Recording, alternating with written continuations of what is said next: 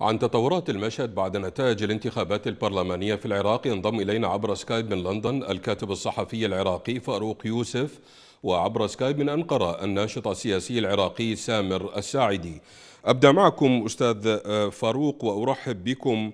يعني كما تعرفون انتشار أمني مكثف في بغداد بالتزامن مع الإعلان عن نتائج الانتخابات وذلك تحسبا لأي تصعيد من قبل الميليشيات. برأيكم أستاذ فاروق ما هي السيناريوهات المتوقعة لما بعد الإعلان هو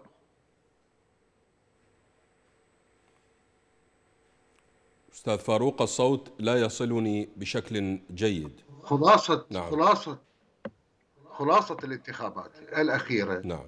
في العراق أن الفاسدين هم الخاسرون والرابحون يعني الخاسرون والرابحون هم من الفاسدين بالحقيقة هناك شيء ينبغي أن ننظر إليه بشيء من الاعتبار نعم.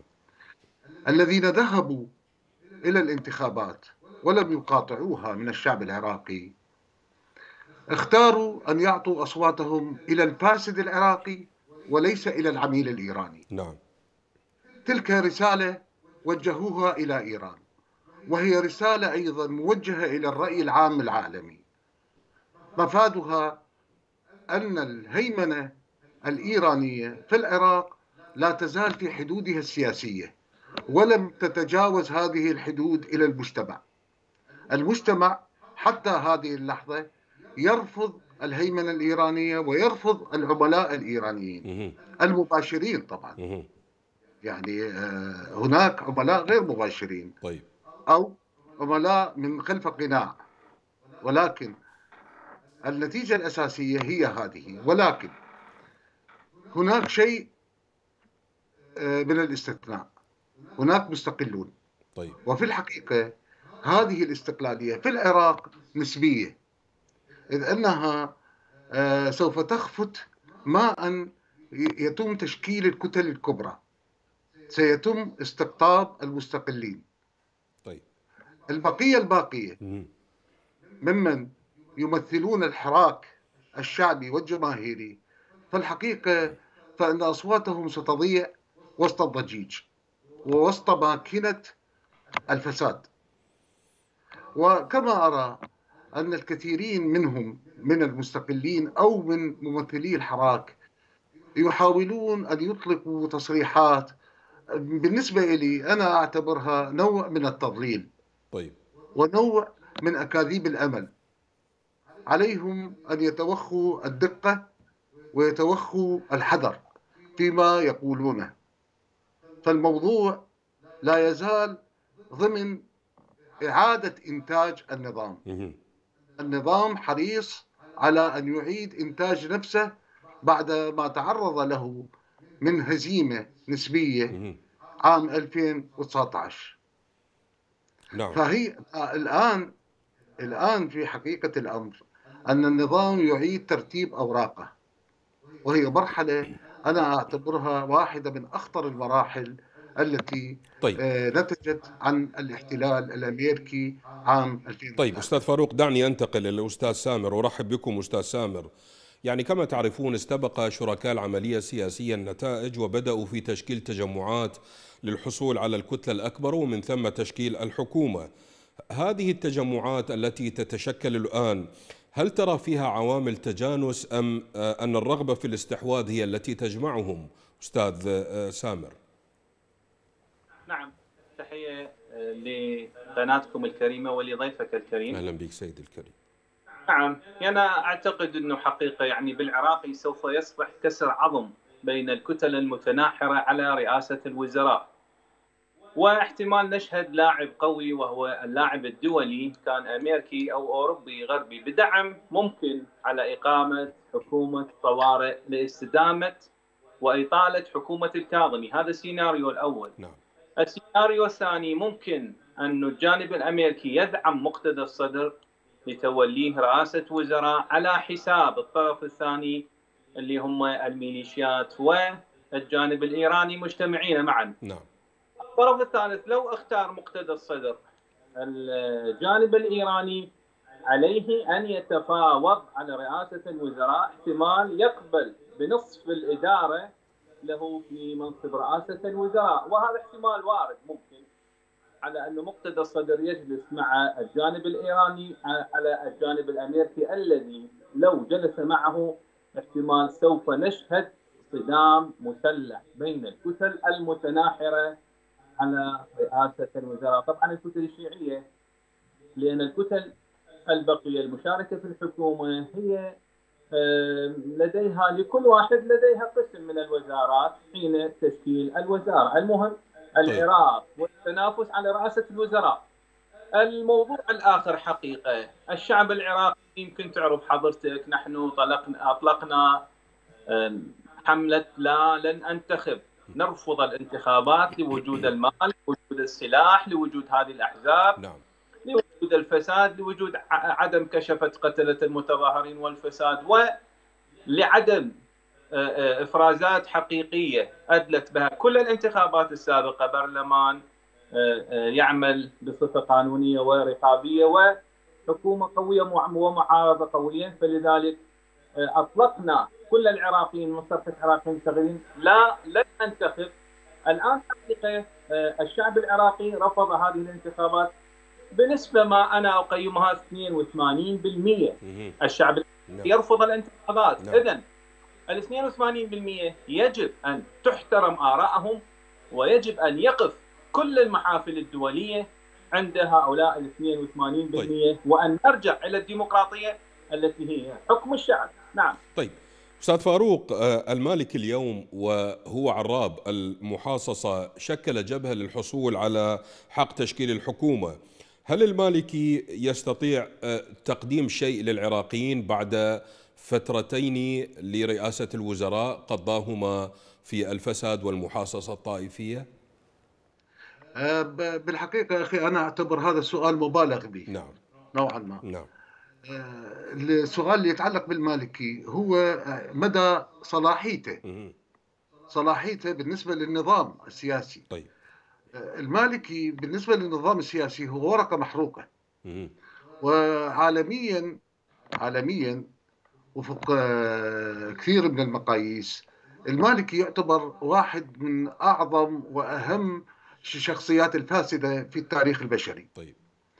لذلك وهذا طبعا هذا ثبتوه عالميا يعني الصحافة العالمية ثبتته والخبراء الاقتصاد العالميين آه، تكلموا عنه كثيرا نعم. لذلك إمكانية أن ينال آه، منصب رئاسة الوزراء مرة ثانية هذا تهديد هذا ابتزاز للجانب الآخر اللي هو الجانب الصدري نعم. الذي آه، يعرف تماما مدى كراهية وحقد المالكي عليه نعم. لذلك أنا أعتبر هذه مجرد شائعات والرجل يحاول قدر الإمكان أن يبقى في المشهد السياسي وهو يعرف أنه لن يصبح رئيس وزراء أو يصبح مسؤولا كبيرا في الدولة العراقية مرة أخرى.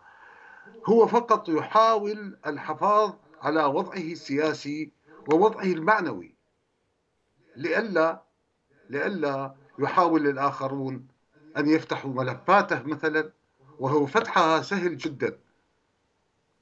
هو فقط يحاول أن يتحاشى الذهاب إلى المحكمة أو يواجه العدالة.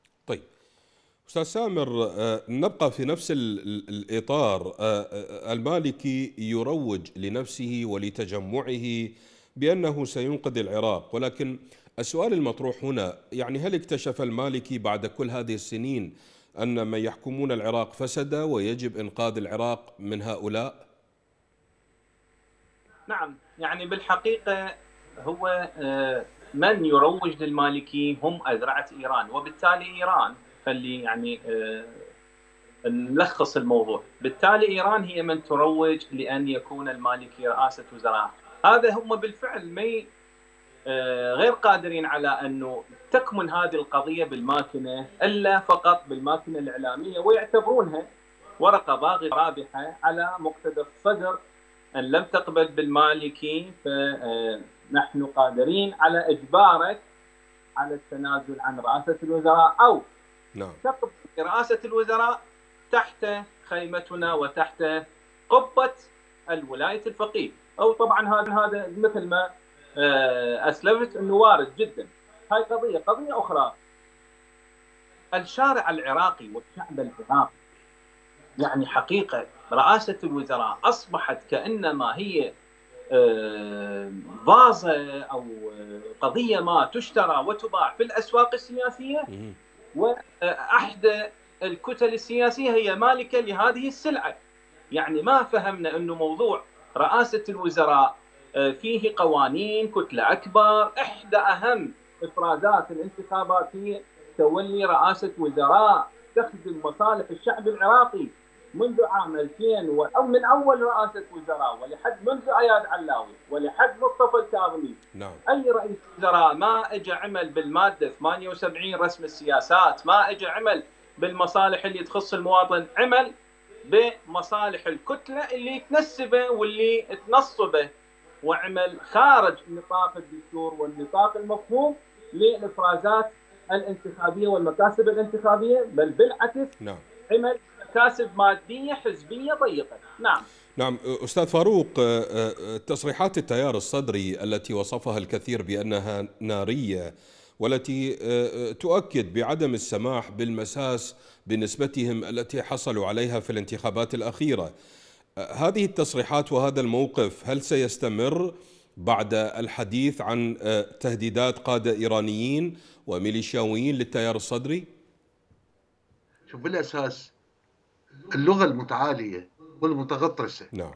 التي يستعملها الصدر وأنصاره تؤكد أنهم لا يقدرون دهاء وخبث الخصوم وهي لا تعبر عن ذكاء سياسي على الإطلاق هناك خصوم مستعدون لهزيمة الصدر وهزيمته يسيرة خلال أول جلسة لمجلس النواب أثناء تشكيل الكتل النيابية الجديدة ولعبة الكتلة الأكبر التي هزم من خلالها سابقا 2010 أياد علاوي ممكن أن يهزم من خلالها آه، مقتدى الصدر لذلك ينبغي على مقتدى الصدر أن يرى بطريقة متفحصة.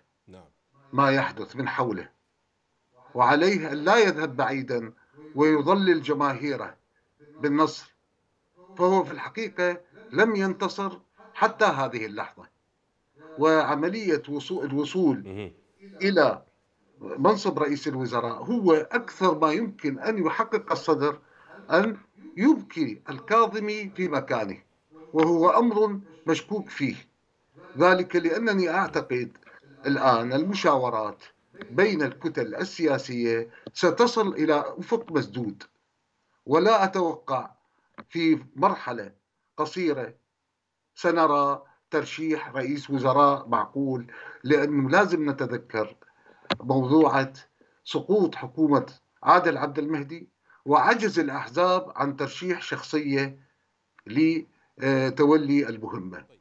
أستاذ سامر آه، سواء شكل مقتدى صدر الحكومة أم شكلها نور المالكي هل هناك تغيير يمكن أن يحدث في العراق في ظل الرفض الشعبي الذي ظهر جليا من خلال المشاركة المتدنية للانتخابات الأخيرة؟ هل هناك تغير؟ يعني تغير نحو قطاعات واقع سياسي عسكري اقتصادي أي تغير تقصد به؟ يعني هناك هل هناك آه، تغيير في العراق على المستوى السياسي والأمني والاقتصادي؟ نعم, نعم. لا لا لا م.